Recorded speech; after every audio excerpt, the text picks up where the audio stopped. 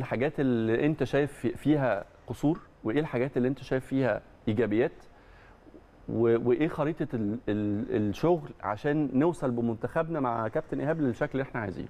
يعني في ناس تقول لك انه ال- المنتخب كان مفتقد الروح. احساس ال- الانتماء للتيشيرت احساس انك انت بتطلع وانت بتلعب مع المنتخب احسن ما عندك. وبالتالي ده اتغير بشكل كبير في بطولة أفريقيا الأخيرة. في ناس بتقول إنه إمكانيات اللعيبة دي أو إمكانيات الجيل ده من الناحية الفنية والمهارية هي كده. ما تطمعوش وما تفكروش إنه المنتخب ممكن كورته تبقى أحسن من كده.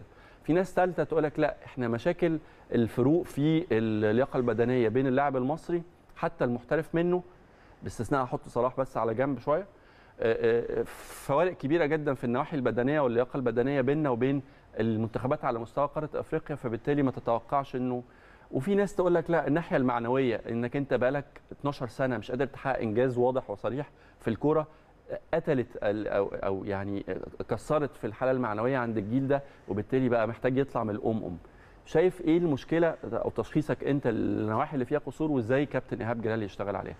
لا هو يمكن ال- المرحلة اللي إحنا فيها دلوقتي اللي إيهاب آه، هيشتغل فيها دلوقتي مرحلة آه، صعبة جدا وأهم مرحلة. هي ما فيهاش شغل. يعني المرحلة من ساعة ما استلم. المعسكر بقى له ثلاث أيام. مفهوم. هنلعب مع غينيا وبعدين هنلاعب إثيوبيا, وبعدين كده هتروح نلعب تلعب كوريا. كوريا. الوقت ده الثلاث ماتشات دول من وجهة نظري هيبقوا أصعب مرحلة في مشوار إيهاب جلال مع منتخب مصر. م. ليه؟ لأن إيهاب كل ما بيطلع بيقول أنا هبني على اللي فات. تمام. لأن مفيش وقت إن هو يشتغل. مظبوط. أي مدرب عشان يشتغل مش هينفع يشتغل مع فرقة آه، أو منتخب يجمعوا يومين ثلاثة وبعدين يلعب ماتش. آه. فهو مضطر إن هو يبني على اللي فات. هو مش ممكن ما يكونش باختياره. آه يعني بس هو اللي حضرتك بتقوله ده معناه إنه إيهاب جلال مش هيشتغل. لا ليه؟ عشان يعني الأوقات اللي بعد كده. طبعا. هو أنت أنت من دلوقتي لغاية الكان أساسا ما عندكش وقت.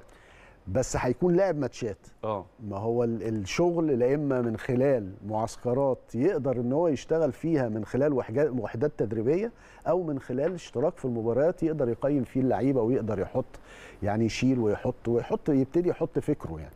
فهو آه، مش هيبقى عنده الوقت ال- الم- المرحلة دي في منتهى الصعوبة. وبالنسبة لإيهاب يعني أنا أتمنى له طبعا كل الدعم وكل التوفيق وأتمنى إن هو يخطي الثلاث ماتشات دول بشكل كويس لأن هم ثلاث ماتشات.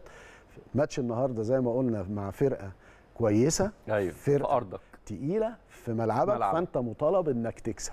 الماتشين التانيين أنت خارج بره ودي ورسمي خارج سواء إثيوبيا بره أو مع كوريا أو مع. فالماتشات مش سهلة. مم. محتاجة إن يبقى فيه آه توظيف كويس للعيبة أيوة. اختيار تشكيل كويس وهو ده اللي هيشتغله ايهاب يتحاسب على الفاتورة؟ يعني الثلاث ماتشات دول ايا كانت النتائج أنا ما أعرفش هو هيعمل إيه. أتمنى ليه التوفيق يعني.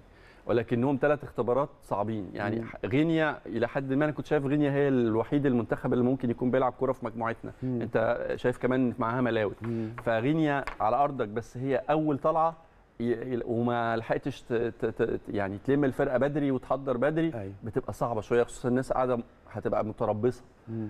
آه، آه، تاني ماتش عندك رسمي بره ملعبك برضو إلى حد ما في صعوبة وتالت ماتش طبعا سول آه، كوريا الجنوبية منتخب بالنسبة لنا إحنا تقيل. آه أي نعم شال خمسة من البرازيل خمسة تقال. أيوة. بس معانا إحنا هيبقى أكيد ليه شكل مختلف. آه.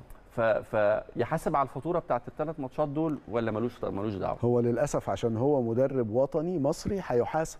هيحاسب آه لو مدرب لو أجنبي, أجنبي كان ما كانش لا. كان ممكن آه يقول لك لسه وما اشتغلش وبتاع والماتشات ورا بعض و... أيوة. فهي ماتشات مهمة جدا ورا بعض وهو ما خدش فرصته في الشغل من هنا بتيجي الخطورة مم. من هنا بيجي بقى ال... الكلام والتركيز على دور اللعيبة آه. جوه الملعب لأن دور اللعيبة أنا من وجهة نظري مثلا في ماتش زي النهارده هو أكبر أو أكتر من دور إيهاب. نتكلم على